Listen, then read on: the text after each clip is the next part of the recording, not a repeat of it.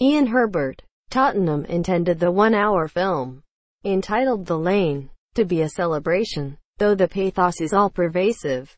For Perryman, nothing will ever match playing at the lane.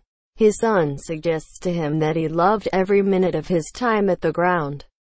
From 1961, and for just a moment the 77-year-old makes to describe those days. Yes, Greaves says, brightening, then the limitations he has faced since suffering a severe stroke last year kick in. Yes, I mean, yes. And that is all he can offer. We knows that those old days were not all roses and honey. The experience of attending the Hillsborough inquests, which concluded last year, were a reminder of that. A journey back into the world of terrace cages. Police officers radios that DID&T work. Impractical turnstiles and unspeakable horror. There is